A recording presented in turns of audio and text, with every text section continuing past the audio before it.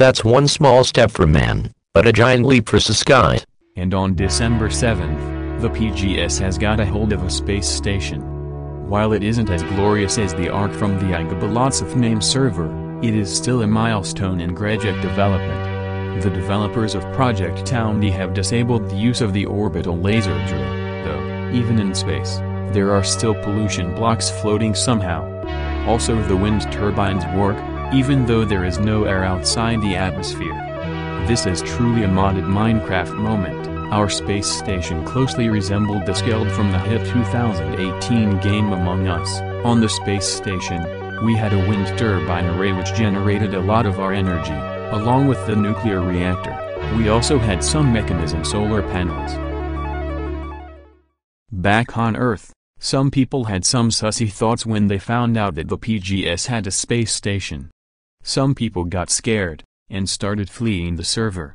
But someone else had an idea. Zactobite and his friend Sailor decided to troll the PGS by trying to steal the space station chip. That chip is required to get up to the station. So Sailor went up to the PGS base and attempted a little trolling.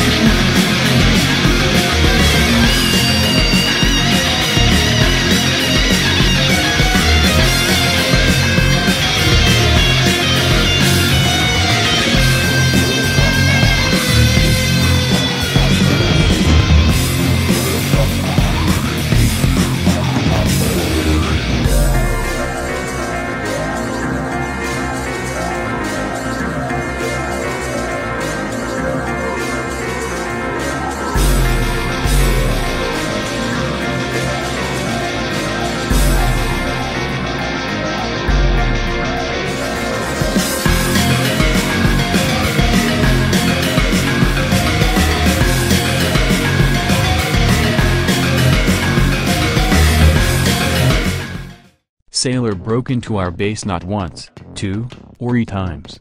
He broke into our base three times.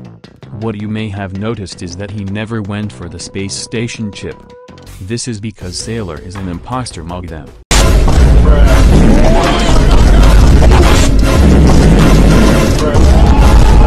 That is because Sailor is an imposter.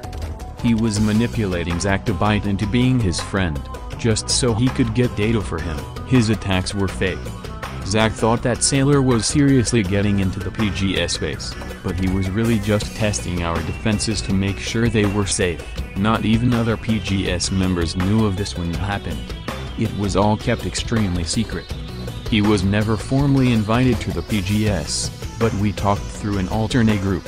In this clip you can see Sailor using our base's shooting thingy to his advantage. Turns out you can place fluids within claimed chunks, so he used a bucket of water to climb up and successfully mug himself in. Sailor is a man of sus, a true warrior who has been celebrated as a legend in the PGS. Zack will never know that his friend is an imposter. Meanwhile, some other members of the server wanted to play something more fun. Project Towny was ungrgy. They wanted something greggier. So they started playing Nomifactory, and Zactobite joined with them. He joined on his Greg Tech account. In this clip, we can see Zack using imposterful means to duplicate hundreds of ingots of iron. Even if it's just his own server, Zactobite uses duping. He never plays fair, he scripts, he bots, he uses hacks, he dupes, uses cheap tricks, and it was at this very moment that Sailor decided that one day, he will troll Zack epically, when the time will come.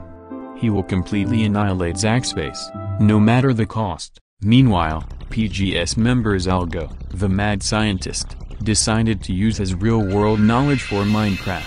Zalgo has actual knowledge of neural networks and he decided to create an AI to guess the other player's position in Minecraft. We had to retrain the AI to ensure declaration to world size, which meant running a bunch of Kolmogorov's Smirnov tests again to make sure we are not overtraining it. What this meant is that the AI can guess every player's position with an extremely high accuracy.